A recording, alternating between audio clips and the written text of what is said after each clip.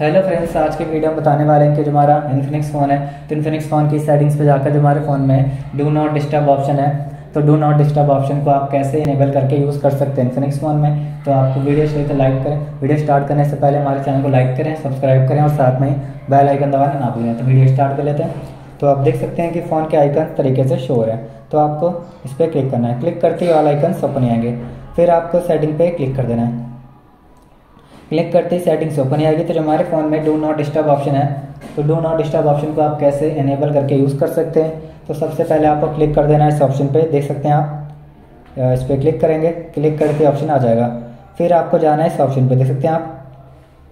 Do not disturb पे। तो उसको यहाँ से इनेबल कर देंगे।